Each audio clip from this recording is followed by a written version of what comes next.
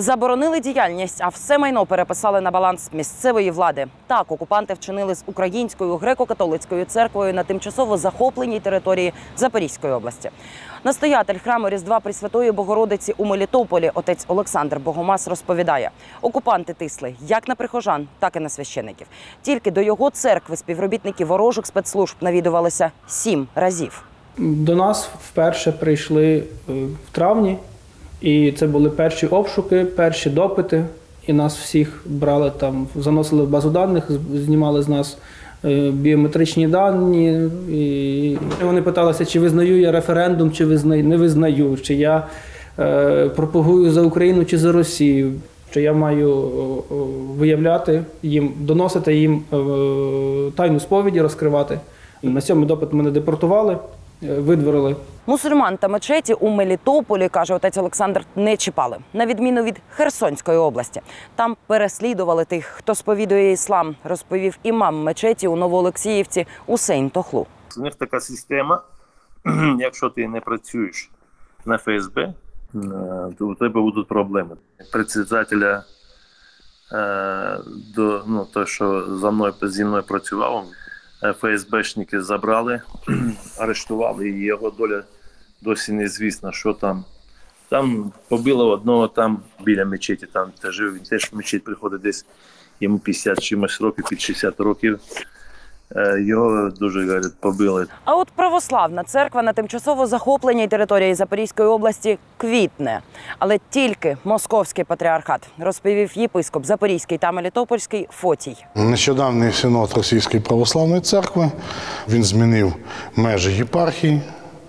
Зокрема, в нашій Запорізькій області всі е, парафії благочинні, які знаходяться на території на тимчасово окупованій території, вони переходять безпосередньо в Російську православну церкву. Та ще раз підкреслило е, залежність е, так званої УПЦ, а насправді Російської православної церкви України від е, Московського престолу.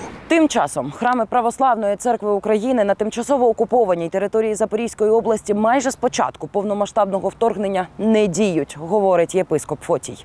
До храмів наших приходили, забирали ключі.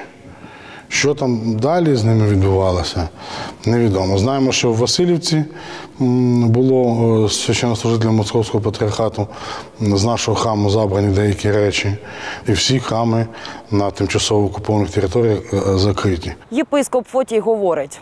Гоніння відбувалося і на священників ПЦУ.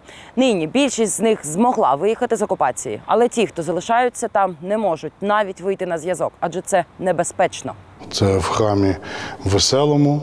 Священника затримали були, мали там допити, а потім його вивезли до Васильівки і сказали, що ти йди там до своїх. Ось. І так само священника з Мелітополя, отця Святослава, незважаючи на те, що йому тоді було 74 роки, отак вивезли, сказали, йди туди. Ось. Історик Ігор Саламаха каже, нового в діях росіян немає. Протягом усіх своїх загарбницьких війн у Чечні, Грузії та Придністров'ї окупанти так само знищували іншу релігію та посилювали вплив своєї московської церкви. Пам'ятаємо події 14 року, початок війни Крим, захоплення Криму. Задавання до цього вони привезли в Сімферополь дари волхвов. І з цими дарами волхвами приїхав Гіркін, відомий стрілковий. Тобто вони через церкву, через цю релігію вони проводять захоплення, проводять е, контроль над населенням, все інше. Анастасія Потапенко, Андрій Варіонов, Данило Войтовський. Суспільне новини Запоріжжя.